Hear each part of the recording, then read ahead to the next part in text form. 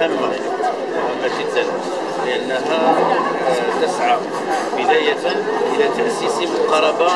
جديدة وهي المقاربة التي تعتمد على الجهة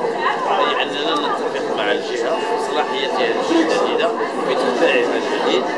وكما قمنا بذلك بالنسبة لجهة الشرق وبالنسبة لجهة العزم اليوم هذه ثالث جهة التي تستفيد من هذا البرنامج الذي يستهدف بالاساس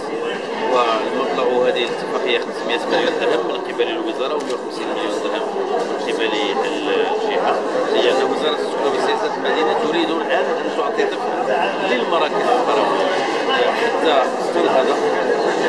بأوضاعها تحسن ظروف العيش ديال السكينة ديالها وتعطي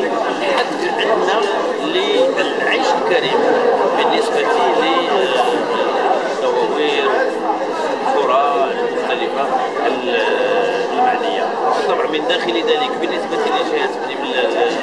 الاخرى هناك تعلمون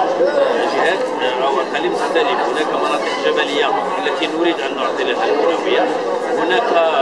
السهول التي كذلك تستحق في مناطق أن تستفيد.